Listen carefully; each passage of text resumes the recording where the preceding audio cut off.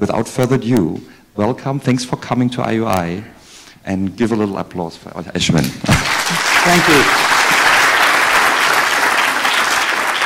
Thank you. Uh, sorry about the, the hardware and software glitches this morning.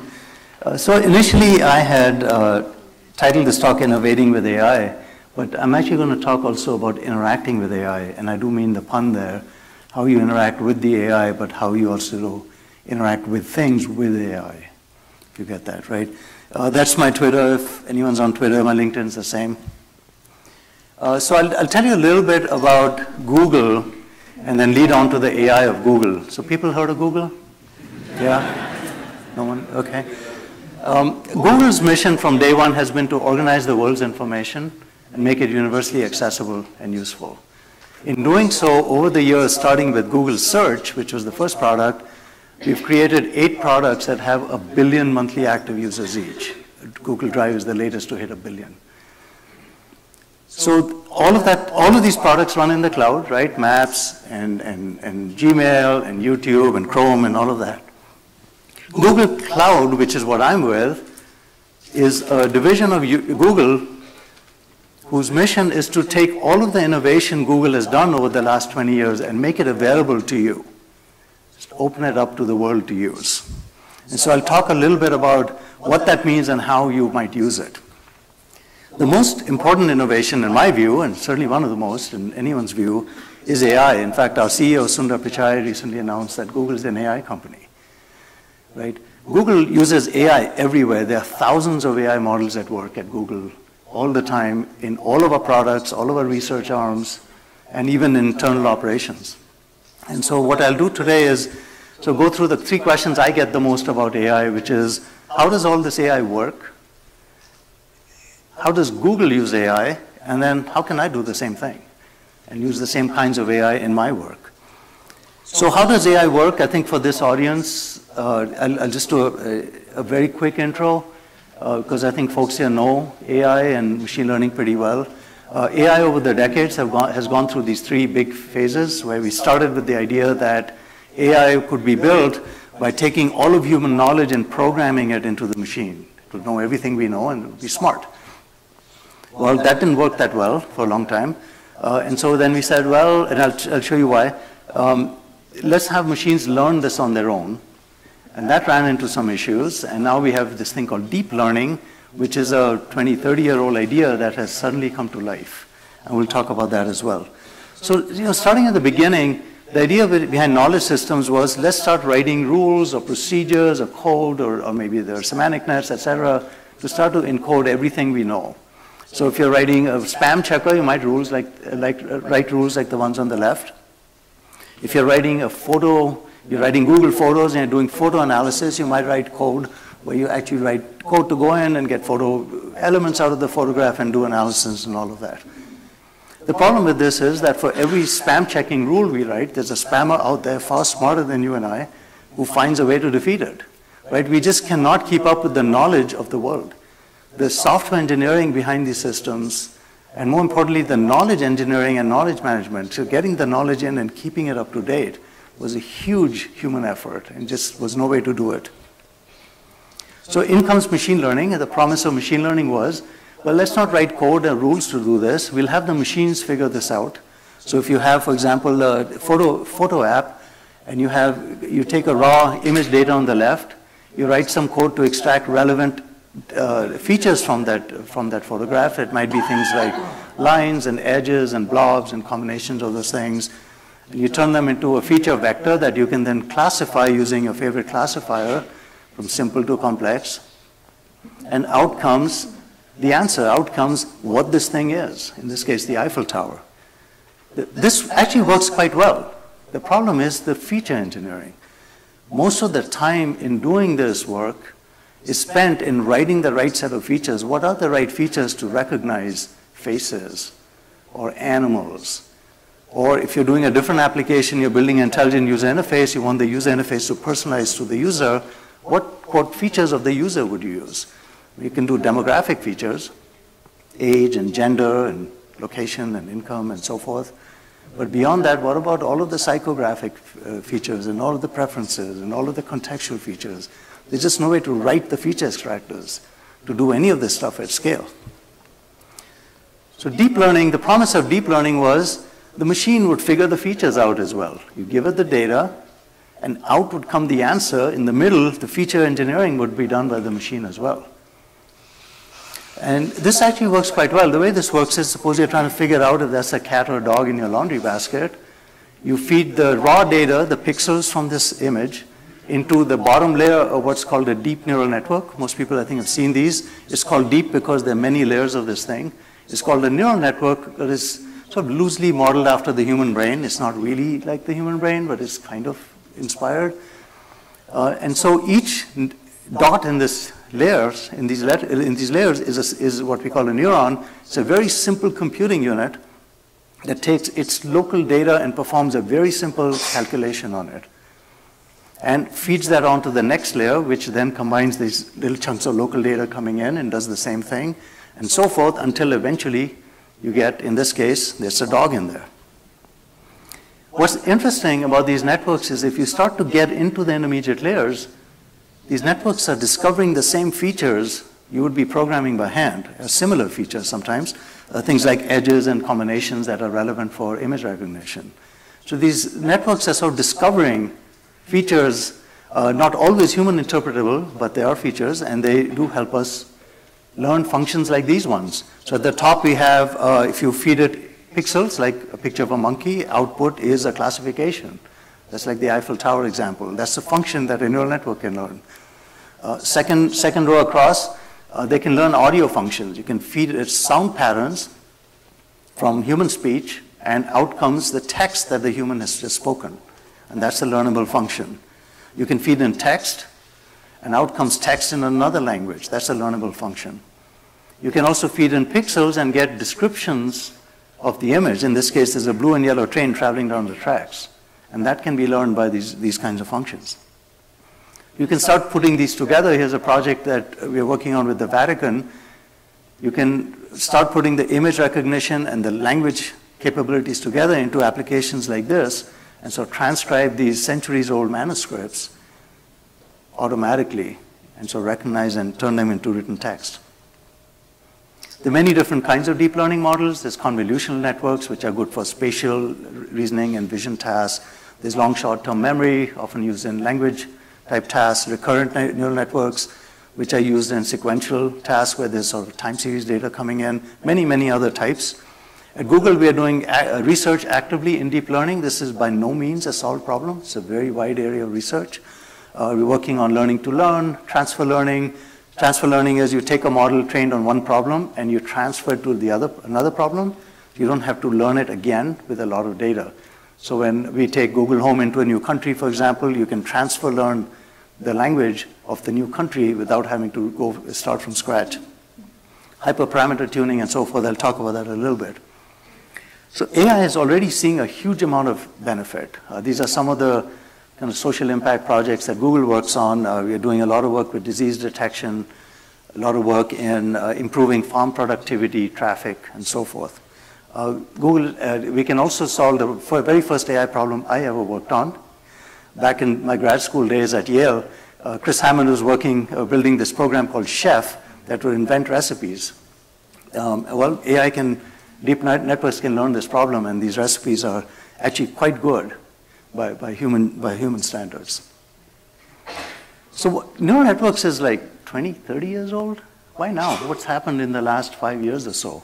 The big difference has been in the 90s and 80s, the compute power and the scale that we could run these networks on wasn't large enough to be better than other approaches, you know, other approaches being your favorite other AI approach.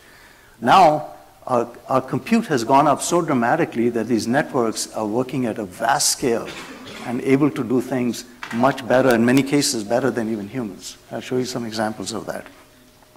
So that's kind of a quick primer on AI. Um, so what do we do with AI at Google? Now, as I mentioned earlier, we use AI everywhere in all of our products. We even use it in our own internal operations. So the data centers, I'll show you a picture one, that run Google AI are cooled through AI, uh, but, and the, the, cooling systems are controlled by AI controllers. And we, by doing that, we've actually reduced our energy consumption by 40% Google has been carbon neutral for 10 years. And a lot of that is the magic of AI. So I'll, I'll, show you a few of these examples. I think for this talk, I picked examples where, which are really about interacting with AI, where we're looking at the human senses, uh, things like seeing or hearing, and seeing how we might do that with AI. I think that's probably most relevant for user interfaces. So you start with the search, Google search, oldest product. Google search uses hundreds of signals to identify the best search results for you in a fraction of a second. The biggest improvement in Google search of the last two, three years has been through a deep neural network called RankBrain, which provides the most important signal to rank a search result. Uh, we can actually, if you type in a search result, we can predict which result you would be most interested in, you personally would be most interested in with over 80% accuracy. And that's done through machine learning. We use Google to listen to you. Uh, so uh, 20, 25% of our searches are now done through voice particularly in uh, many foreign countries.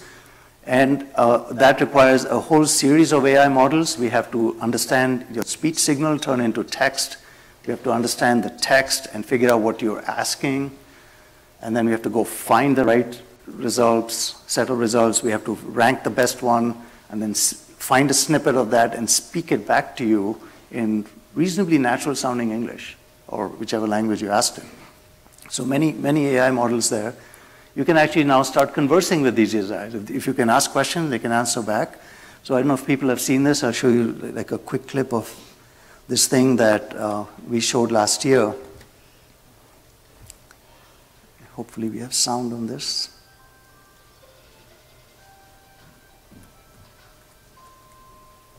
Can we turn the volume up a little bit?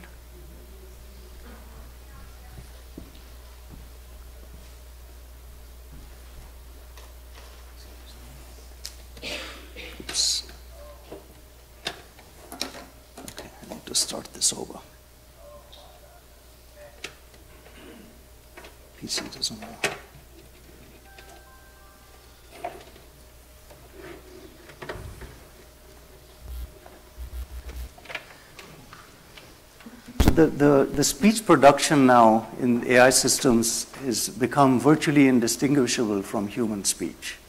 And here's, here's a demo that we did last year this is actually now available to you as a product. You can actually use it yourself. Start over. I'm going to exit it. Yeah, go ahead.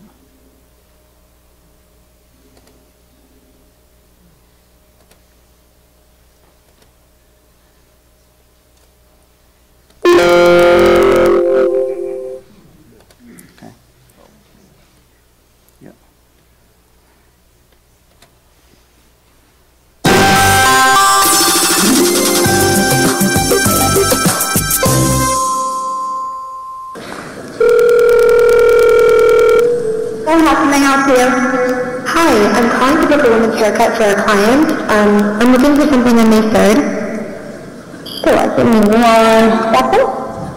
Mm-hmm. Sure, what time are you looking for around? At 12 p.m. We do not have a 12 p.m. available. The closest we have to that is a 1.15. Do you have anything between 10 a.m. and uh, 12 p.m.? Depending on what service she would like, what service is she looking for? Just a woman's haircut for now? Okay, we have it 10 o'clock. 10 a.m. is fine. Okay, what's her first name? The first name is Lisa. So I'll, I'll stop it here in the interest of time. But basically, you can notice not only is the Google Assistant on the left speaking naturally, but also is able to understand fairly ungrammatical English with topic switches, etc. on the right. This actually works, and it works across these kind of reservation type domains. Uh, there's also another application now where Google Assistant will answer your phone call for you if you have a call from a number you don't recognize, and will ask what you're calling about and will tell you so that basically you can screen your calls. And in a, in a sort of very natural and, and human-like manner. Okay, let's see. This is the way to continue.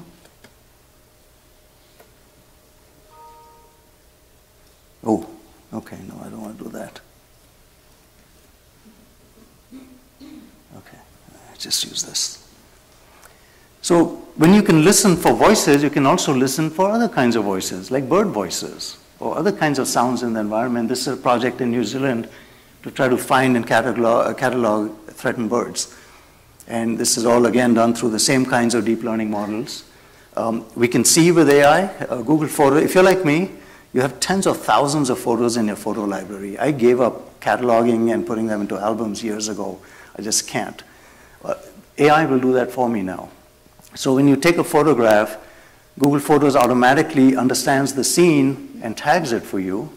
And so it knows this is a scene of a beach, and there's boats, and there's water, and sun umbrellas. And so you can say, you know, show me photos of the beach I went to with my daughter last summer. Up comes this photo. And the reason it finds it is I didn't have to tag it as being beach. The photo automatically recognized this. It can also describe a scene. You know, this is a person flying uh, on a beach flying a kite. So I can ask Google, show me photos of people flying kites, and this picture will come up. And all, again, all this happens automatically. You take a photo, and a few seconds later, it's there for you.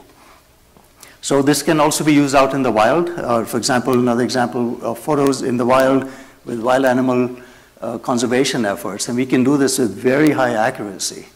The big change that has happened in the last six or so years, seven years, has been the advent of deep learning has led to the reduction of error rate. So as early as sort of 2011, 2012, a machine learning, state-of-the-art machine learning uh, system had about a 26% error rate, which is much, much worse than humans, which have about a 5% error rate. Now these systems are better than humans in recognizing sort of natural images out in the wild. And this is a couple years ago, right? By, by today, it's even better. We can apply this to videos. So far, you can try this yourself. You go online, you upload a bunch of videos, and you can search your videos. You can say, find me videos with cars in them. Let's see if I can find this thing here. Right? And up comes all of the videos in this collection with cars. These little red dots tell you where the cars occur. And some are pretty obvious, some are not so obvious, but it'll find them again, all happens instantly and automatically. You can also have it look at a single video and tell you that this has an ocean and water and beach, and then later on the, there's a skyline with, of a city and so forth.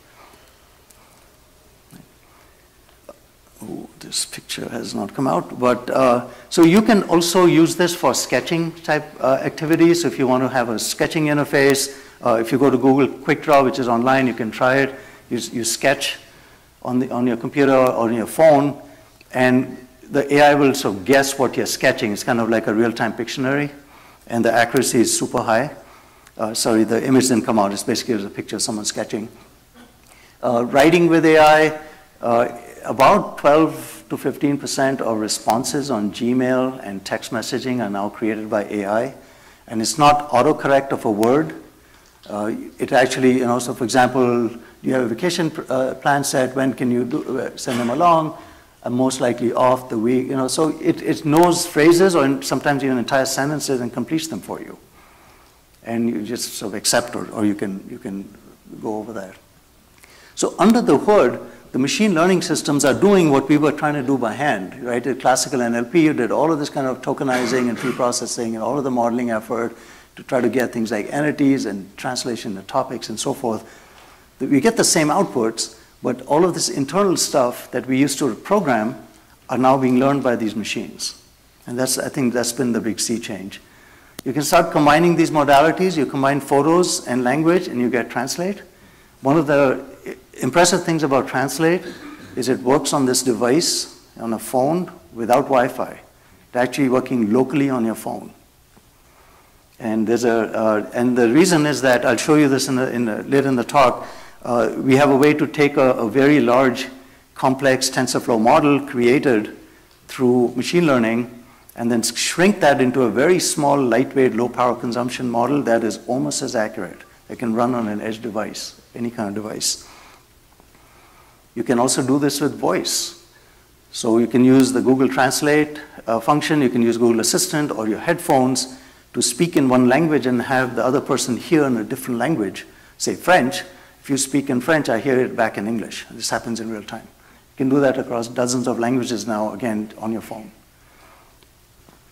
So if you think about these kinds of applications, right, we've been working on IUI for years, um, although the conference is, uh, is, is, you know, has evolved a little bit. And we kind of think of intelligent user interfaces as being very simple, natural, kind of smart about how they interact with us. I think the two big changes that are coming, and this is about the time to, to, that we are seeing them. One is the integration across different products and technologies. So for example, you can say to Google Assistant, show me photos from last weekend, and up comes my photos. So this is now combining Google Assistant and Google Voice Search and Google Photographs or Photos into one experience. The user doesn't have to know, they just interacted with three different products. It's just one request, you get an answer. So that's gonna, the integration is, be, is becoming much easier and leading to really magical experiences.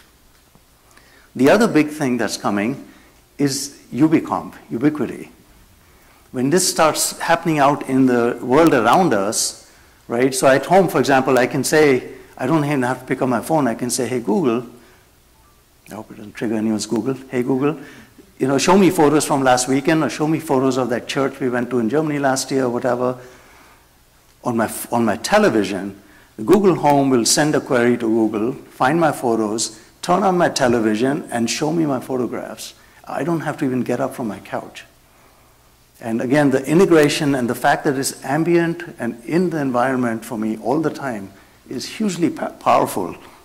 It's in my car, it's in my home, it's in my phone, it's everywhere, right? So if you think about the interface part of IUI, right, we used to think of interfaces as being interfaces to, uh, to apps or to websites, right? And then we said, okay, maybe it's an interface to a product. It really is now an interface to the world around us. This is the easy, natural way for us to interact with uh, the world we live in. And I think that's the direction that IUI is going in. There's been a lot of good work here in this community. I saw some very interesting papers and uh, posters yesterday just get, getting at this issue. A couple more examples, and then we'll sort of talk about uh, how you can take advantage of this. Uh, so this is uh, some work done at UW on real-time object detection, uses the same kinds of techniques. We have some internal demos as well. So this is just real-time labeling in a video. And this is, again, you know, it's not speeded up or anything.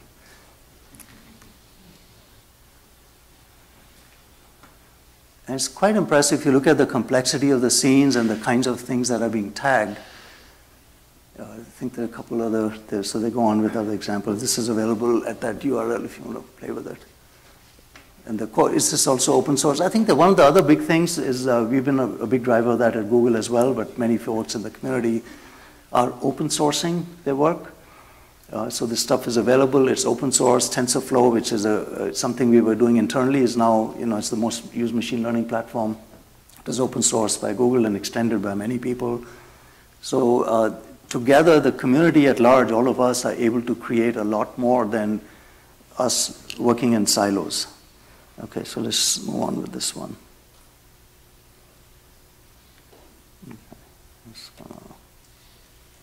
Uh, here's another example, lip reading.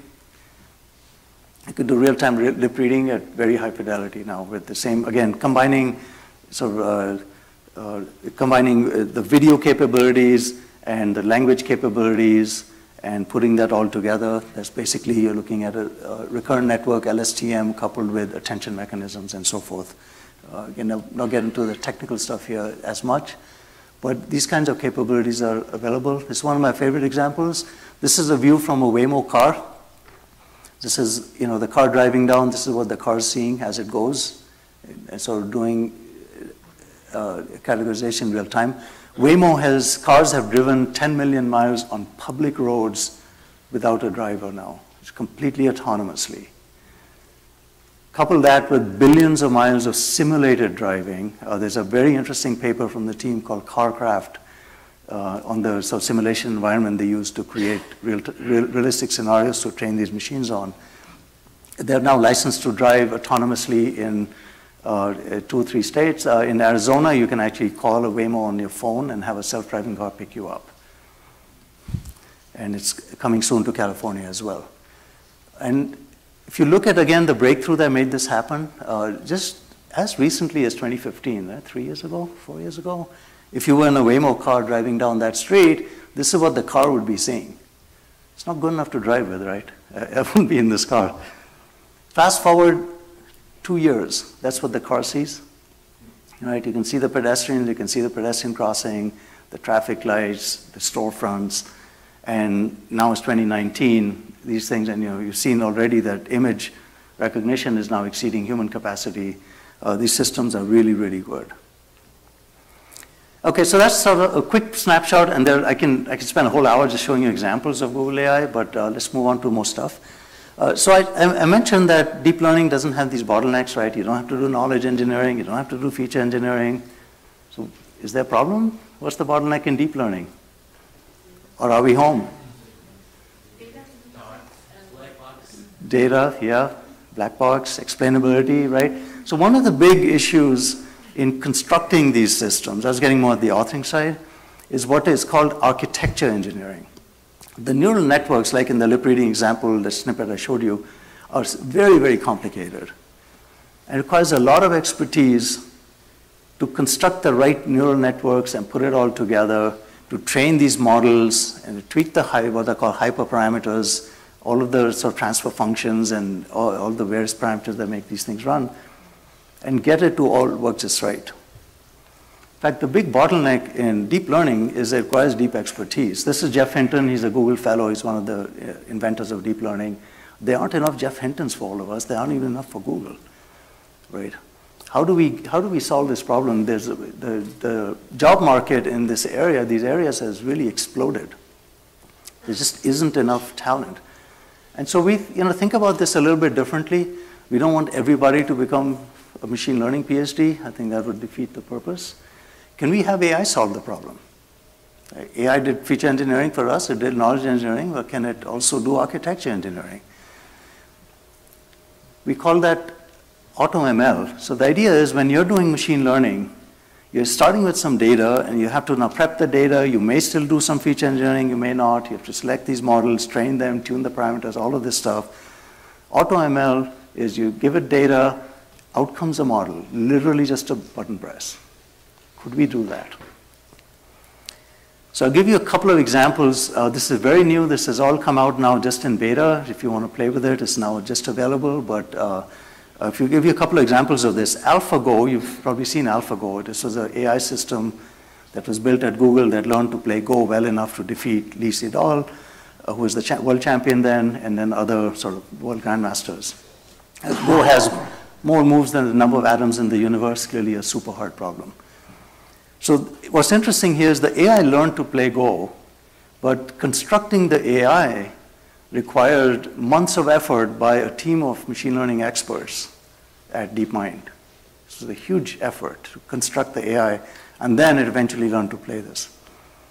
We have now AlphaGo Zero that learns AlphaGo. So in three days, AlphaGo Zero plays Go as well as the version that beat Lee Sedol. Right? And so it didn't take months of human effort to do this. In 21 days, it's playing at master level. And at 40, the, at the end, it ends up at 40 days later of just training. AlphaGo Zero is playing Go better than any known human or machine. Right? It's basically the best Go player ever. Completely autonomously. How does this work? Basically, it's doing architecture engineering. It's doing a search. We call it neural architecture search. There's a neural network that's searching through the space of neural architectures, trying different ones, ruling out the bad ones, and so doing this search towards the best architecture. And it performs handcrafted models. This is back to the vision world where a lot of this stuff started. This is sort of state of the art in image recognition from things like MobileNet and ShuffleNet, all of the inception models, ResNet, et cetera, that were created by experts. There's AutoML. It's doing better than the best human models at the, at the sort of the large end as well as the small end. Another interesting thing is that the, the, the system can learn a vast range of functions. So we learn not just to play Go, you can play shogi, you can play chess. You can also, also learn functions that don't look very game-like, but are. So this is an inside view of one of our data centers. One of the problems we deal with is a massive amount of cooling required to keep these places cool.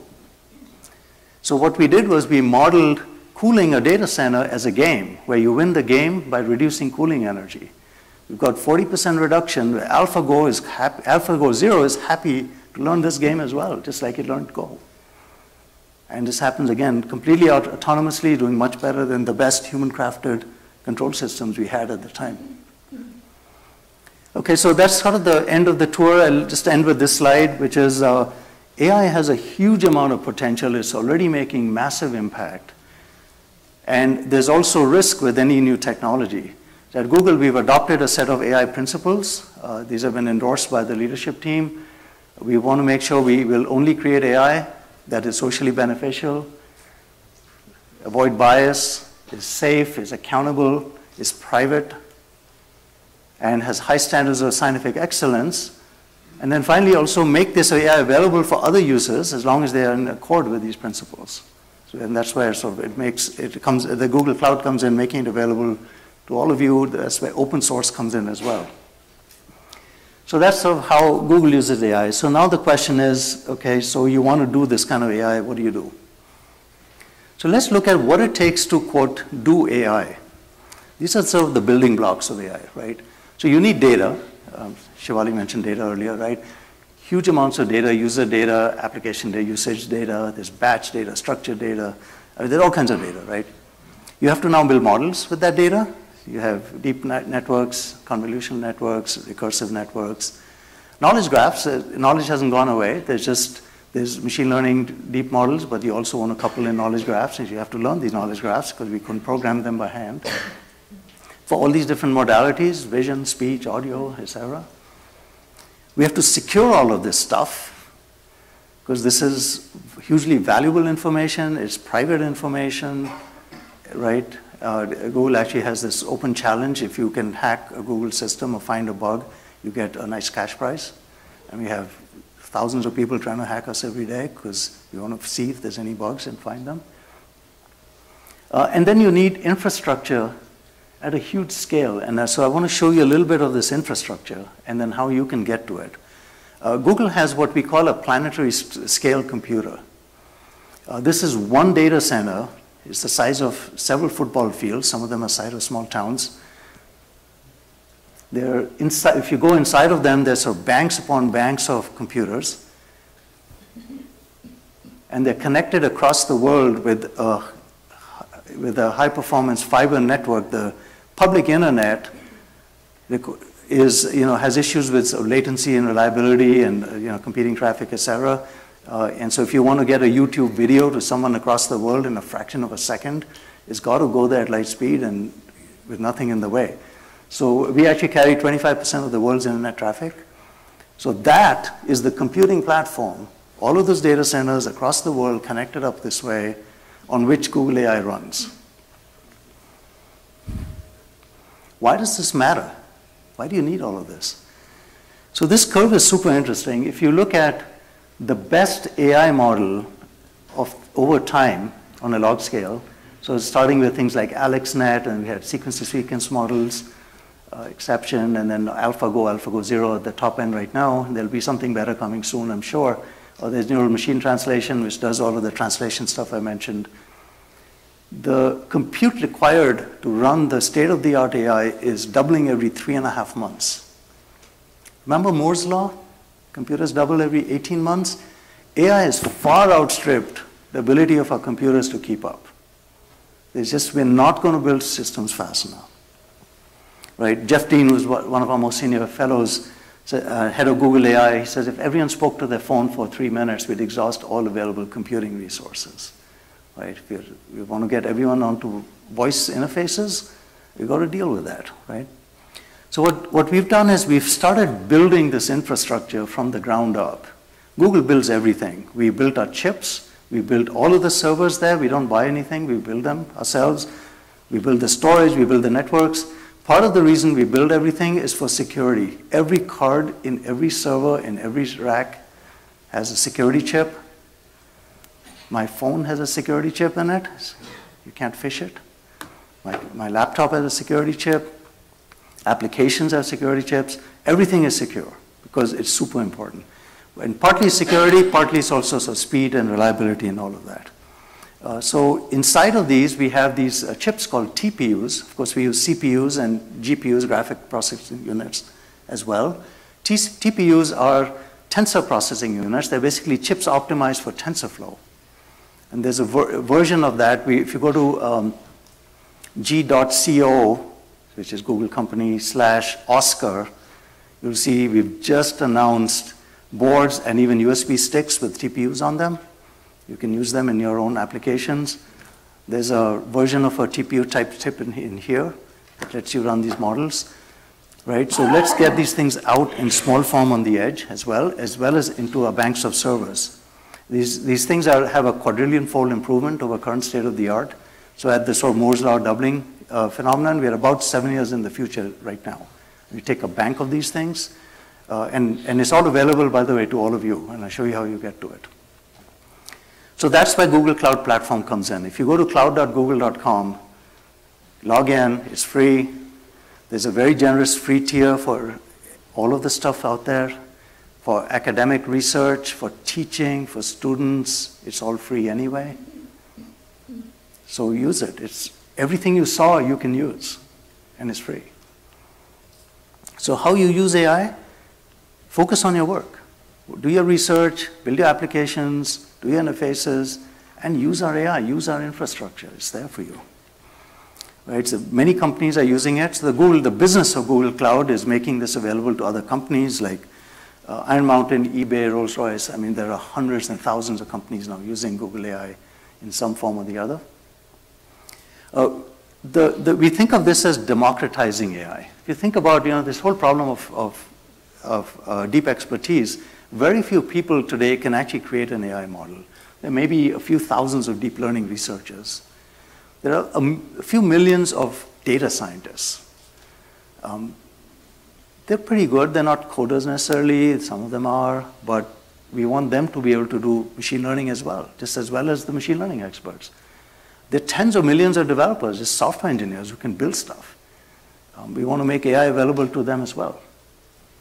So the way we do this is through the Google Cloud AI platform. If you go to cloud.google.ai, you'll see a set of infrastructure, you'll see building blocks, and you'll see solutions. So the infrastructure layers, I think of it as three layers. You get all of the same uh, storage, the networking, the CPUs, the GPUs, the compute engines, all of the stuff we use, you can have it too. It's all there. So you, you log in, you say, give me a machine with a four GPUs and blah terabytes of memory and a, throw in a couple of TPUs. You wait a few seconds and it's there and you're sitting at your browser working on a supercomputer. Next level up, we have all of the tools and platforms we use are also available to you. So there's a bunch of stuff that we've open sourced like TensorFlow and a lot of the work that went into things like Spark and Beam and other things that you, you've seen. There's also things we use internally, the machine learning engine where we train and, and host our models. Uh, BigQuery is interesting. This is our, our giant data warehouse. So imagine if you had a, a, imagine a spreadsheet with thousands of rows and millions of columns with petabytes of data in it. We can run queries against that in seconds. This thing can ingest 100,000 rows a second of data and do some real-time queries. It would take you, that normally would take you a weekend. We, we use that constantly in our own business. It's all available to you. Data lab and so forth. And then at the highest level, if you don't want to even mess with machine learning engine and train a TensorFlow model yourself, you say, you know, I like what Google Photos is doing. Can I just use the photo model you've already built? That's the API layer. So our, our you know, the, the vision models, the video intelligence, speech, language translation, all of this stuff, just like you in the old days, you could call Google Search as an API or Google Translate as an API. All of this stuff is available as an API. You can call the Translate API and get, get translation back and go on your merry way. You're using the same translation models we do. So the way you use this is you look at your application and you mix and match the building blocks that you need. If you're doing data analytics, You're going to want to ingest data, you'll explore it probably with BigQuery, you prepare it, you then train a model, tune, etc. And there's tools for each one. You sort of plug them all together and, and do that. If you're doing marketing, this is actually an internal example. This is how we do marketing when you're trying to get people to sign up for G Suite or other things. We take all of the data that's coming in and we feed them uh, typically into BigQuery. Uh, Dataflow is a way to get data from both batch and real-time streaming sources and combine them together using one piece of code so you don't have to write code twice. Um, train a model and so forth, and then that's what powers things like ads and so forth, right? So again, the, the idea here is not the detail here, but take these blocks and mix and match them together and make an application. You're doing an edge application, maybe it's a smart home or maybe it's other kind of IoT. Uh, you're going to want to take IoT devices, plug them into IoT core. Uh, PubSub gives you the streaming data back into Dataflow, train a model, and do the analytics. And it's literally just all building blocks. It's, it's like Lego blocks, very simple. Um, another thing we've, uh, that you can now get to is, uh, you know, we've, we've talked about doing AI at large scale. We also do AI at small scale. I mentioned this earlier with the TPUs, right? So this is the, it's, it's called uh, Learn to Compress, and there's a blog on this online. If you Google it, you'll see it, um, where you can take a big complex TensorFlow model, compress it into something that'll work on a phone or some very small, simple edge device. You can run it on Raspberry Pi or anything like that as well. And it's, it's small, fast, and, and you lose a little bit of accuracy, but not substantially.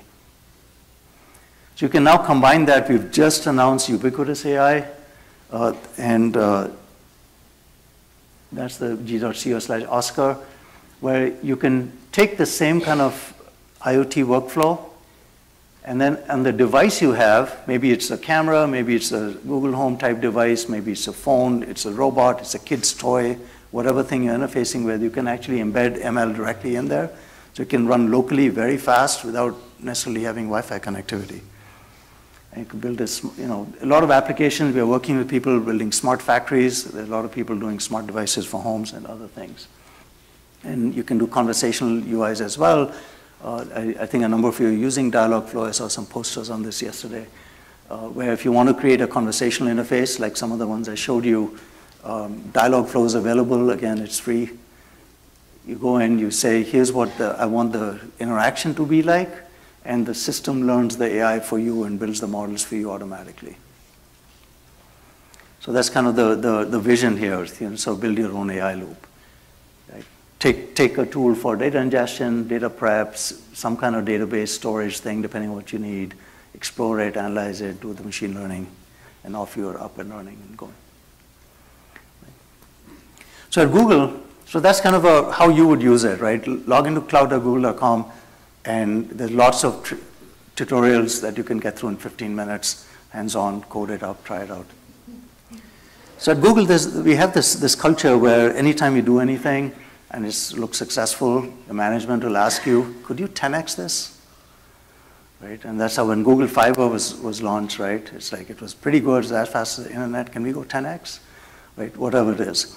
So when we look at this picture and saying we're going to reach tens of millions of developers, can we 10x that? Can we reach hundreds of millions of non-developers, business professionals, regular people? Could they do AI? Could we reach a billion end users? Right? Could someone actually using a, a Google application do their own AI just as an end user, not even a developer, not even in business? How do you 10x this? So here's an example, and this is kind of a preview of where we are going. Some of this stuff is available, some is coming. Uh, so, you know, for example, I'm an insurance adjuster, and I'm sent out on the, on the field by an insurance company, and my job is to figure out how much damage there is. So I go out there and I have to take notes, I take pictures, and I figure this out. Could I train, could I not use an AI to do this? Could I train an AI to do this myself? Could I do the AI myself? Right? So there are a few ways where you can do AI. Um, if you have, if you're a database person, you know how to write SQL, you can actually write machine learning code directly into SQL. And we have augmented SQL with a command to create a model. So you can say, I want to create an accident model where I can take the speed and car and how bad the accident was, etc., and predict from that the damage or predict something. You just, it's literally just adding a keyword into SQL and off you go. You can actually do a lot of smart queries now in Google Sheets in our spreadsheet directly as well. You don't have to write Google spreadsheet formulas. You can just ask your Google spreadsheet a question, it'll construct a formula for you. You can do Google uh, AI in a notebook. So a notebook is a, like a Google Doc, except you can have text and code in the same doc. So if you go into, uh, you know, at this site, and it's also on cloud.google.com, um, you can say, give me, uh, so you could go here, you say, new notebook, and you get this thing where you've written code, and the code actually runs directly in your browser. You don't have to install anything, and you can also just write text. And many of our own tutorials are written with a notebook. So you can just explain something and there's a piece of code where you can code it and try it yourself. So that's, that's super easy. A lot of people, a lot of students are using this. Uh, many universities have adopted this because it's, you know, it's, again, it's a very simple way of teaching coding. You can do AI, you can also do Python and other things in these notebooks. You can run AI in your browser. So back to this example of image recognition. This is, you know, if you upload a bunch of images to uh, to the Google Cloud Platform, it will train a model for you. So if you know, you know, so here's sort of how it works. Let's say I'm training image, uh, a bird recognizer. I train a bunch of images. This is a flamingo, that's an ostrich, etc. I do add images. I can add more images to this. And then there's a button here called train. So I click train. And what it does is it takes all of that data you put in, pushes it out to a deep network on the back end. You don't have to see what's going on sends it out to one of these massive clusters, chugs it for you, and back comes a model, and now you have a system that can recognize birds. So if you can upload files to a browser, you can do AI. I have high schoolers doing this stuff for projects. It's super easy. So that's kind of the mission of uh, Google Cloud AI, which is the team I'm on, which is can we democratize AI by making it fast, accessible, and useful for enterprises, developers, and really now end users as well. So that's kind of, kind of what, what I work on. So if you're interested in any of this, um, I'll just put this all up. There's sort of three ways to get involved in this effort of democratizing AI. One is join, the, join the team.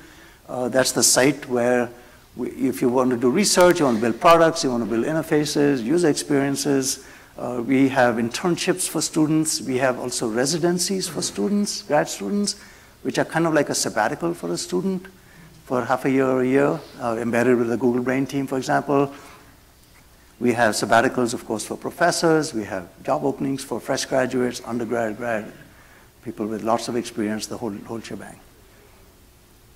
You can use the AI, and I mentioned a couple times now, go to cloud.google.com, you can use it for your research, for your teaching, it's free. You can do it, there's a Google Cloud for startups if you're creating a company. Uh, there's a very generous free, free tier for startups as well. And then if you're building products and applications, the pricing is, is actually very simple. You, you, you pay per second of use. It's sort of a, a fraction per second per use.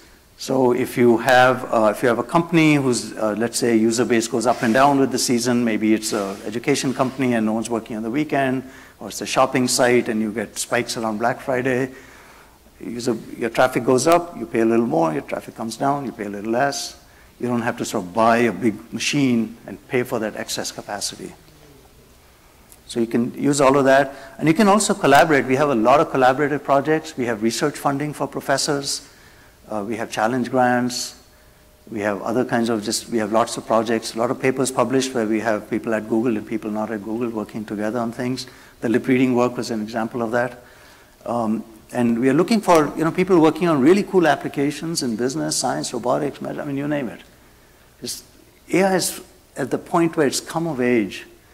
And with the right interfaces, which you all know a lot more about than I do, we can really put this to use and make a difference in a good way at, at massive scale now. And that's sort of the opportunity that I see ahead of us.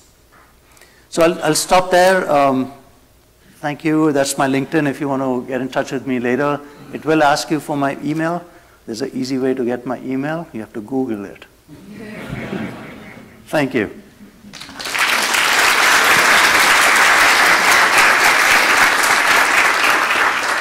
Thanks, Ashwin. So we have a couple of minutes for questions. So there's already one here. Before, before we uh, jump in, say your name and your affiliation, please. Shiwali is always quick on the draw. I'm Shiwali from PARC. and given your sort of background and knowledge representation and reasoning, I think you're the right person to bring this question up. So whenever I go to like Google AI talks, there's always a lot of talk about deep learning and all the AI methods and all the machine learning methods that Google is developing. But like there's the other part, the representation and reasoning part, right? So search wouldn't work as well without the knowledge graph.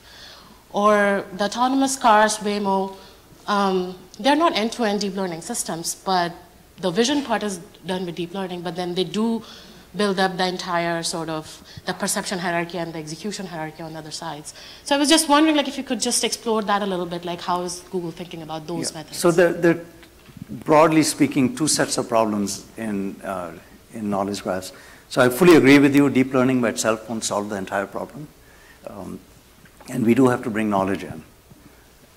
So the question is, you know, how do we do that? So there, the two problems are, one is you have to build up the knowledge graphs. How do you build these knowledge graphs, given that you can't hand construct them? The other problem is how do you then bring them together with deep learning to get problems solved, right? Because again, by themselves they won't be sufficient, but neither will deep learning. How do you uh, match them? So we're working on both those aspects. Uh, we've just, uh, just a few weeks or months ago, we've launched something called Knowledge Service. It's on Google Cloud, again, if you want to try it, which is um, uh, partially machine, uh, deep learning, partially non-deep learning approach to learning a knowledge graph for your application areas. Uh, so we have a lot of people with, you know, you have documents or you have other sort of specialized ontologies, and this system will go learn a knowledge graph for you, or take our knowledge graph and augment it for your application area. Um, so one, so that's sort of one thread of research is how do we get better at learning knowledge graphs. The other is how do we combine that with deep learning, and that's uh, very much an open area of research. We have folks working on it actively. There are a few papers uh, out there. Uh, there are also papers from other, uh, other universities as well, looking at bringing them together. Um, I think some of the promising approaches, uh, you know, the, uh, I think that sort of the, the work in neural Turing machines is very promising. If you think of a, a Turing machine of the old days, right, they had the tape and you could write stuff out. These neural networks, could we also add a tape to a neural network and provide state and memory and a place where it could write out what it knows and read it back in later? Right? So that's at a very uh, architectural level. There's work going on at higher levels as well, where we draw inferences from both knowledge and uh, uh, deep learning and bring them together. So Google Assistant, when you talk to it, you're actually using both knowledge graphs and deep learning on the back end. Uh, so there's a lot of work going on, but it's a wide open area, I think. It's a very, very early. Deep learning itself is barely five years old in terms of really coming to, you know, coming to maturity. And it'll take, it'll take a lot more research from folks like you to solve this problem. Hi. Hi, so I'm Ron Artstein from USC ICT, just down the road here. Yep. Um, uh, since we're at IUI, I wanted, you talk a lot about how you learn to model one thing from another, but where does the user come in? Where, and I'll give you an example, a, a Google application that I use a lot here in LA, living on the other side of LA and coming here almost every day, is uh, Google Maps. And I use it not because I don't know the roads, I know them very well, but because I don't know what traffic's going to be ever. So modeling the traffic. And I find that its model of my preferences is really, really bad. Uh, and uh, I, just this morning when I was driving, I was like, have Google Maps here. Try not to look at it too much because I am aware, trying to look at the other cars. It's, I don't drive an autonomous car. Not yet. Not yet. And uh, yeah, and I see and it gives me a decision, say, oh, route A is going to be uh, five minutes slower than route B. And I'm like, I have enough experience with Google Maps to know it's making the wrong recommendation here. I'm going to route, and in the end, I'm right. Uh, so how do you model what the user wants? Okay. So uh, it's actually multiple questions rolled into one. So in all the products that we use, uh, particularly the consumer-facing products, you know, with the billion users each, they're all user-facing products, and the learning happens with user data, uh, anonymized for privacy and aggregated, but it is the, the users that feed in the raw data on which the models get trained in some form or the other. And uh, so the users are, are critical to this, to, to this pipeline. These systems, I mean, in, in Go, you can go play a game by yourself, but in none of these, in all of these applications, you actually need people to interact with the system. And we rely on the fact that we have a lot of people interacting with the system uh, to provide the raw data.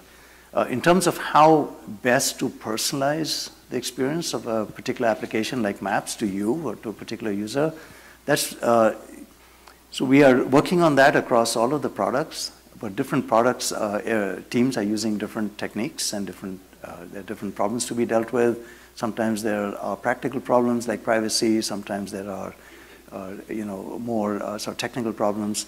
But it's a problem we are, we are working on actively. Some, some systems are much better. Some of our products are much better at personalizing to you than others. So, uh, you know, search is very good at returning results that I want to see, and they're different from the ones, say, my, my daughter sees when she does the same search, because it knows what I'm going to want.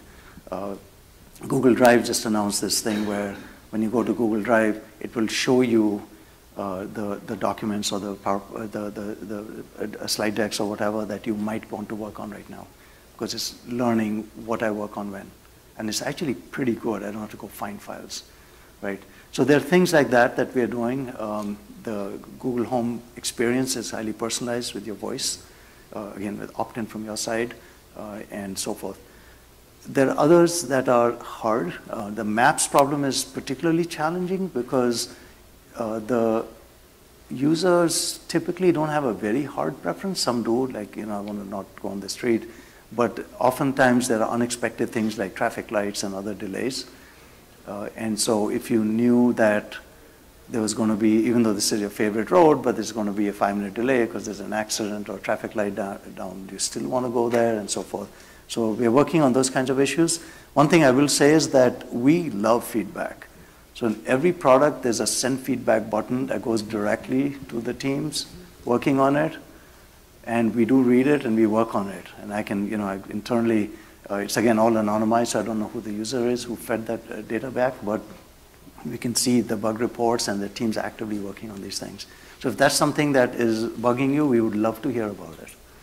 And we will work on it. But it's, it's certainly getting super personalized is, is sort of the next holy grail. And we are there, we are further along that process in some products than others. Uh, Lewis Johnson from Alelo. So we used to say in AI that the things that a human child finds very easy to do are precisely the things that an AI finds hard to do. And you've been convincing us that maybe that's not true anymore. But I'm curious, from your perspective, what are some of the easy things that your AI still finds difficult, but maybe will become easier in the next few years? Okay, so there's a long list. Tell you a couple of my favorites, personal favorites. Um, common sense reasoning is one. Uh, these systems are, you know, systems like Duplex and Assistant are pretty good at conversing with you. They don't necessarily have a lot of common sense about what to tell you at a given time, or right? Contextual reasoning right? If I want Google to play me music or find me a path to work uh, or anything else, the context I'm in, am I in a hurry? Do I have a meeting coming up? Do I have enough time to explore? Uh, is it music? I do I have friends over? Is it by me by myself? Am I having a romantic evening with my spouse? Everything matters, right? And that kind of deeply contextual information is still hard to model. Um, so that's two of them. The third one is actually one I was uh, working on at PARC as well. Uh, Shiwali's on the same team, looking at uh, how these agents can interact with you over a longer period of time in a sensible way. I mean, it's, it's great to be able to book a haircut for you, and it's sort of a short-lived interaction. But over a period of time, if this thing is going to be your assistant and going to live with you and grow with you, right?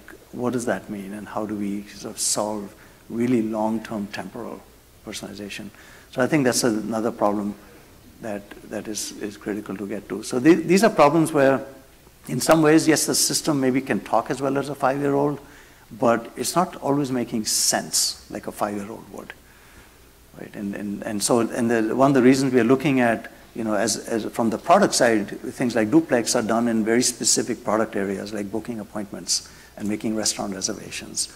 Right? But it's still not general purpose human conversation. That problem is still not solved. So we have time for one more, and I want to maybe someone in the back because we had too many in the, in the front. And I think Ashwin, you will be around today, right? Yeah, So I'm, if I'm here all day and so- happy to chat offline. Any, anyone in the back with a question? I can do that. okay. because I'm very bad at picking or scheduling the requests, so I apologize. Uh, Thanks for nice talk, Peter Brusilovsky, University of Pittsburgh. Uh, s- The question is, uh, you- most of your talk was about neural networks, but neural networks requires a notorious amount of information to learn. And personalization is a challenge because you don't have enough time to learn about the user. Uh, So yet, uh, apparently you solve that issue, right? You tell that Google search is personalized to you, uh, although your user might just search for the very first time. So how you combine this magic of being able to uh, use slow learning, I mean, not slow, fast learning neural network, which requires a lot of data, and user who has very few data provided to the system? It's a great question. So there's, there's the, you know, I, I call it the problem of small data, not big data, right? A lot of cases you have small data. Uh, it might be for a particular user, it might be for a particular entire domain. You may have very little data. Maybe we can do animals, but we haven't done birds yet. Uh, so we're working on a number of techniques. AutoML, for example, actually learns from surprisingly small amount of data. Uh, you can get, if you upload images of birds, you need uh, surprisingly few of them compared to the old style ways of doing things. Um, we use a number of techniques. Uh, some of them are, we do a lot of semi-supervised learning, where the systems are, uh, some data is supervised, is labeled. There's also other data that's not yet labeled. Uh, we also have systems that generate data. So we use uh, GANs, generative adversarial networks, where systems are trying to generate data as, as well as learn from the data. Uh, we do transfer learning, where we take a model trained in one domain and apply it. So maybe I don't have data on you, but there is data on a similar set of people that we can determine from your other usage. Maybe you've never used maps before, but we still know enough about you from other things. And we can take that model and transfer it to you. And so it requires much less data to personalize a model starting from a transferred model than starting from ground up. So there's a number of techniques like that.